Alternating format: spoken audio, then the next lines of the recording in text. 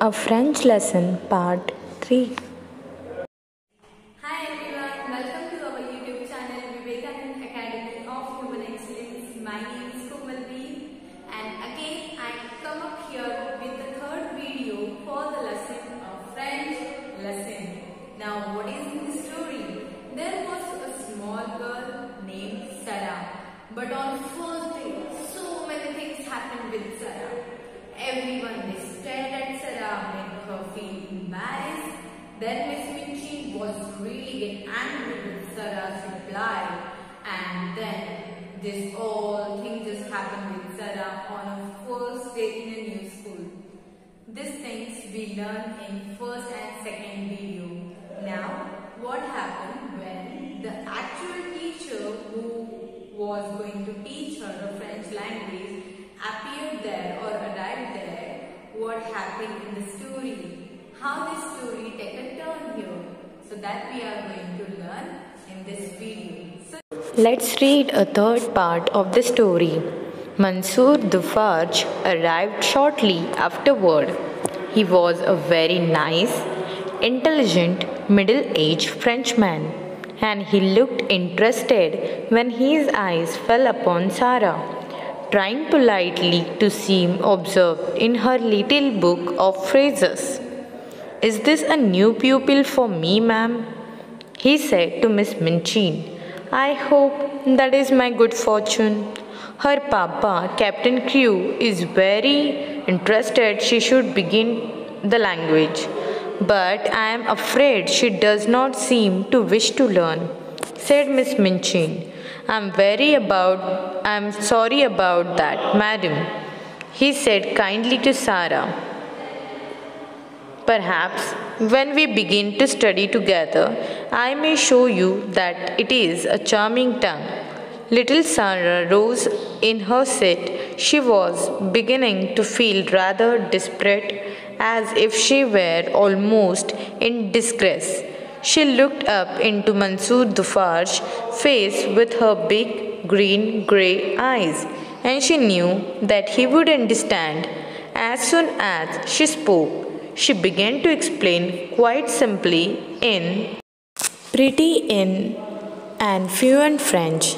Madame had not understood. She had not learned French exactly, not out of books, but her papa and other people had always spoken it to her, and she had read it and written it as she had read and written English. Her papa loved it and she loved it because he did.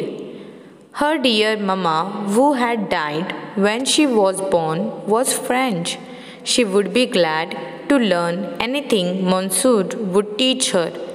But what she had tried to explain to Madame was that she already knew the words in this book and she held out the little book of phrases. When she began to speak, Miss Minchin started quite violently and sat staring at her over her eyelashes. Until she had finished, Monsieur Dufarge began to smile, and his smile was one of great pleasure. To hear this pretty, pretty childish voice speaking his own language so simply and charmingly made him feel almost as if he were in his native land. When she had finished, he took the phrase book from her with a look almost affectionate. But he spoke to Miss Minchin. Ah, madam, he said, there is not much I can teach her. She has not learned French. She is French. Her accent is exquisite. You ought to have told me, exclaimed an embarrassed Miss Minchin, turning on Sarah. I, I tried, said Sarah. I, I supposed I did not begin right. Miss Minchin knew she had tried and that it had not been her fault that she was not allowed to explain. And when she saw that the pupils had been listening and some were giggling behind their French grammar books, she felt infuriated. Silence, young ladies, she had severally, rapping upon the desk. Silence at once. and she began from the minute to feel rather a grudge against her new pupil. Now a French, a teacher who was going to teach a French language, the name of that person was Mansur Dilfaj. He arrived shortly afterward. In the sometime, he just only arrived there, there. Came in a class. He was very intelligent, very nice person and a middle-aged French person. When his eyes fell upon Sarah, he looked interested when it fell upon Sarah. He, he started to think, oh, this is my new student. This is my new pupil. pupil. He started to talk with Mr. Minchin and he said, okay, is this my new pu- pupil? Is this my new student for my class for French language who want to learn French language? Miss Minchin was already not in good mood. She said, Yes. Is it my good fortune? I hope Miss uh, the father of this girl, of this Sarah, that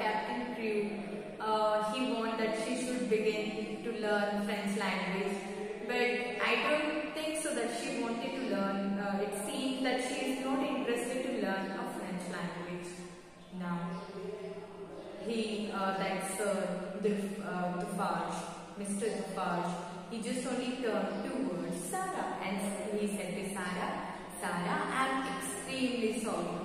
When we start to make study together, that time you will understand that this is a real, really very, it is a charming tongue. It is a really very nice language when you will start to learn it here.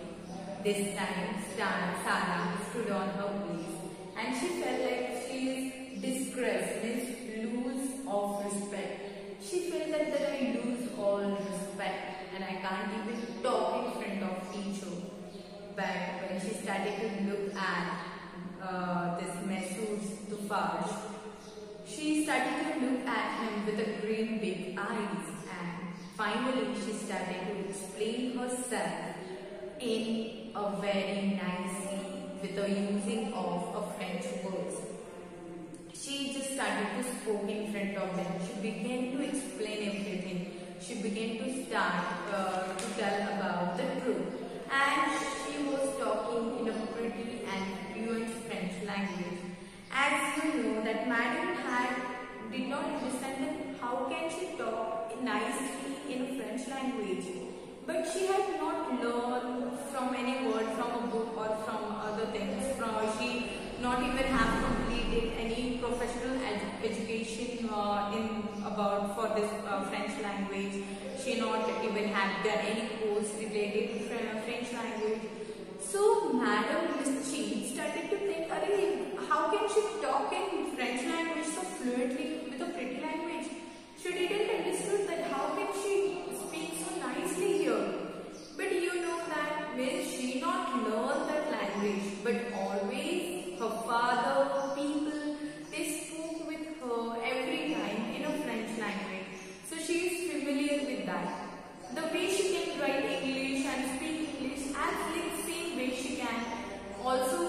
able to use a French word. She can also able to write and speak French language and just like English. And her mother, which died when she born, she was a French woman. So she is really very familiar with this language, with the French language. And now, Mr. Mesut Dufarge, when he heard this, that how she nicely explaining about her thoughts in a French language, he felt that I am, I am in my motherland. This professor, he just only belonged to a France. So he said, wow, how nicely this girl is talking in a French language. And I feel like so that I'm, I- I'm now standing in my native place, in my land. That this girl is nicely talking with me and nicely she is, you know, explaining her concept, her ideas in a French language. After some time, means when she began to speak, Mr. Minchin started to quite quietly, means she started to stare at this girl very quietly when she had finished her statement, जब उसने finish किया, that Mr. Mr. Dufash was really impressed with the charming language of this girl, with a fluent and with the charming language, and felt almost that he were in his land, that he was standing in his land. When she finished everything, then Mr. Dufash, Dufash, he just moved toward Mr. Miss Minchin and he said, Madam, I don't think so that she can learn anything more about French language. I don't think so that I can teach her.